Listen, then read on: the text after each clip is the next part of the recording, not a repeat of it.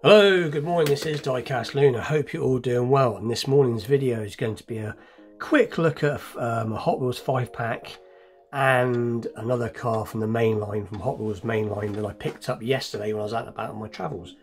So we'll get straight into it as I've got another video to upload today as well. So I need to get on with the videos. So we'll take a look at the one from the main line to start with. So I found this really cool Max Steel um, this is something that when I seen this, I think it was on the Lamley group, Langley group, I can never pronounce that properly. Um, this is what I thought I would definitely want to find, and lo and behold, I come across this. And again, um, this was not, there was not many left um, on the pegs, so to speak. They really are. These mainline Hot Wheels at the moment, and Matchbox for that matter, are flying off the pegs. Um, so it's you know we're going through such a dry spell that as soon as any cars uh, are on the pegs, so to speak, they're gone. So to find this was really cool. So it is from the Rod Squad, and this is something that I am definitely going to be doing a wheel swap and detail on at some point in the future. excuse me but it is really really cool piece plenty of potential there for a really good custom but I'm not going to do anything with the paintwork. I actually like this sort of I don't know what it is like a flat grey colour looks a, sort of like a tinge of blue to it but I like this flat grey with the 54 um, it could just do with a little bit of um, engine colour and a decent set of wheels but other than that it will be left alone as I really do think it's cool. So I'm pleased to have this piece. And it's synonymous, it's got that, um, uh, I kind of think what I'm trying to get out now. It's that sort of, um, oh, what's the word for it? Brain switched off again as usual. Um, salt flats car, that's what I was trying to get out. Um, that's what it's got sort of whole um, Bonneville salt flats, that's it. It's, that's got that sort of vibe to it. So very cool to find so that'll be one that I will be doing sometime in the future. So that's the first piece and then we got this really cool um, five pack. Well at least it's when I say really cool let's get a bit of zoom out two seconds we can actually get it into focus a bit. Um, I was mainly after this casting this gasser. Um, I think it's a 64 Chevy Nova Chevy Nova wagon. So we'll get it opened up. So let's just cut this top off this box very briefly, so just give me two seconds to do that. Right, so let's get a bit more zoom on. And let's open it up. So the first car is the, let's have a little look, is the 64 Nova Wagon Gasser. So this is the main reason I picked it up, as I think this is really cool in this colour and I do like this particular casting quite a lot so that is the main reason. And even though I've said in the past I don't usually pick up five packs or nine packs for one particular car or a couple of particular cars but I made an exception, an exception with this one. So that is pretty cool. So it says Hot Wheels Gasser Club. So pretty cool. So that's the first piece.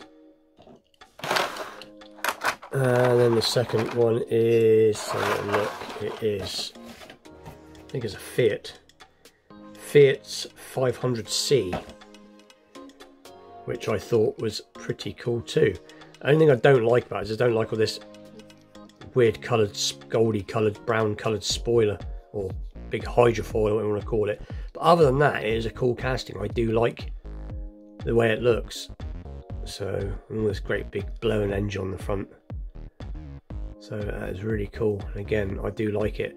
I think at some time I'll do something. Well, well, do you know what? Actually, the actual fact, I quite like it as it is. I might not do anything with this, to be honest. It is, it is rather cool the way it is. But um, that is one cool piece.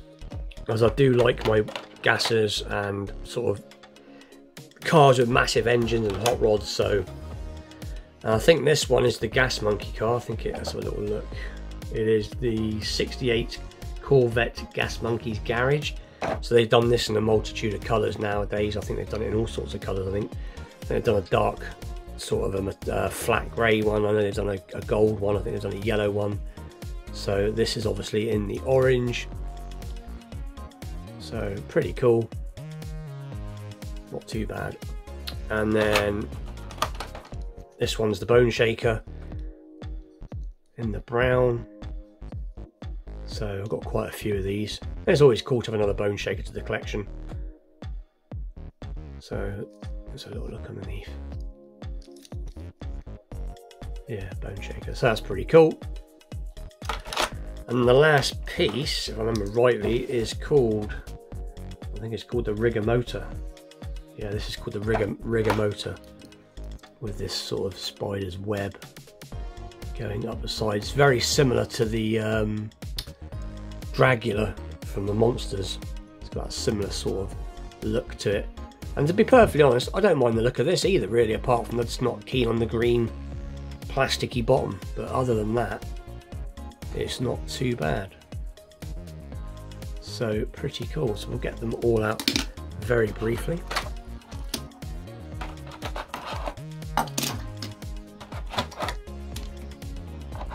So it is the it is the Hot Wheels exposed engine set. I should probably said that from the start. But for me, the main reason I picked the set up was for these two. But uh, not a bad set, and like I said, it's one I haven't seen, and it is from, looking at the date on the back, it is from 2022. It's got 2022 copyright on it. I'm just having a quick look. Yeah, so it's up to date. But anyway, with that, please like, share, subscribe. Stay tuned for more unboxing videos, vintage pieces, wheel swaps, customs, and all that good stuff to come. Um, like I said, I've got another video. I want to, I want to, I want to, I've got to do um, the challenge that was set by um, Gary from Gary's Diecast, or I believe it was set by his wife. So I'm going to be having a go at that next. So that'll be my next upload. And I'll also stay tuned because I'm nearly finished my um, 62 Corvette Gasser that I was doing a few bits to. So that should be interesting. So stay tuned for that. But anyway, with that, I'll see you soon. Thanks for watching.